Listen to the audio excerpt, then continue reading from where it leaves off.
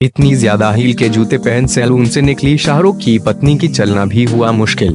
बीते दिनों शाहरुख खान की पत्नी गौरी खान सैलून के बाहर स्पॉट हुई। इस मौके पर गौरी ने मिलिट्री क्लर्क की जैकेट और ब्लू जीन्स पहन रखी थी।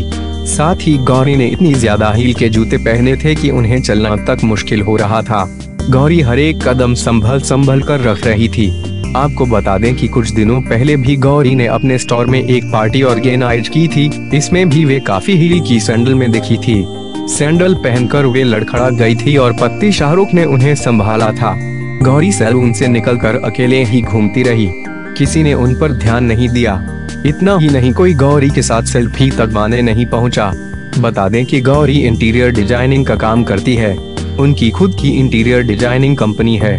गौरी पति शाहरुख के साथ production house Red Chillies Entertainment की मालकिन भी हैं। गौरी ने आदित्य, चोपड़ा और रानी मुखर्जी के घर को डेकोरेट किया है इनके अलावा जैकलीन फर्नांडेज, वरुण धवन, रणबीर कपूर और भी कई नामी स्टार्स उनके रेगुलर कस्टमर हैं। गौरी फ़िल्मों में बतौर प्रोड्यूसर अब तक मैं हूँ ना ओम शांति, ओम मेन इमेज खान, रावण और चेन्नई एक्सप्रेस जैसी फ़िल्में प्रोड्यूस कर चुकी हैं